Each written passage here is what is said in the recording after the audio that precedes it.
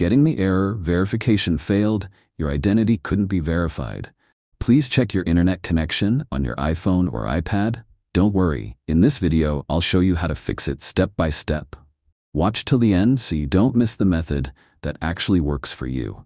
This error usually shows up because of issues with your Apple ID, internet connection, or system settings. Let's start with the easiest fix. First, turn off any VPN. If you're using a VPN, it might block Apple's servers. Open the Settings app, scroll down and tap on General. Next, select VPN and Device Management. If VPN is active, turn it off temporarily. Now go back and try signing in to your Apple ID again. Still not working? Let's try the next fix. Forget and reconnect to your Wi-Fi network. Go to Settings, then tap on Wi-Fi. Tap the eye icon next to your connected network. Now tap Forget this network and confirm.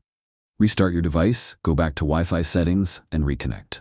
Now let's check your date and time settings. Go back to Settings, tap on General, then choose Date and Time. Make sure Set Automatically is turned on and your time zone is correct. An incorrect time zone can prevent you from verifying your Apple ID.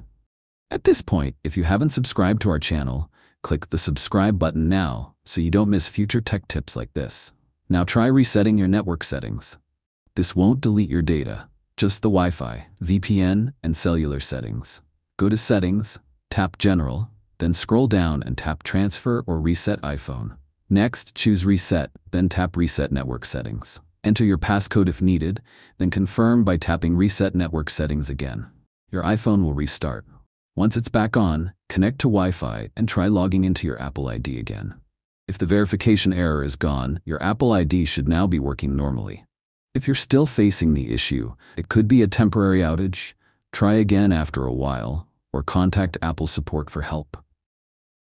Thanks for watching. Drop a comment below if you have any questions, and let me know what topics you'd like me to cover next.